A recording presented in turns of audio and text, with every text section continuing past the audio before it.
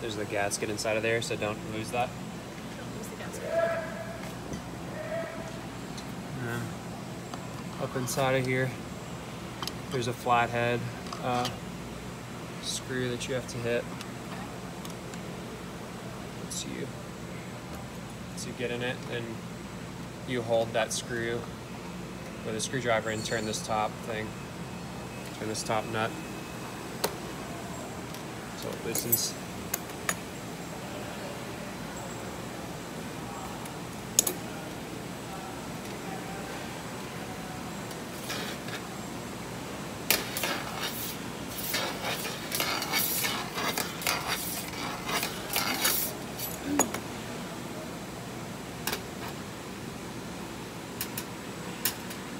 Um, you have to keep holding this screwdriver because that screw, this screw will drop out. Okay. And then you can see that this, uh, Is it broken? yeah, it's in multiple pieces. I think that makes stronger springs. I know it's ridiculous. All right. Make, should I just wipe this away while it's accessible?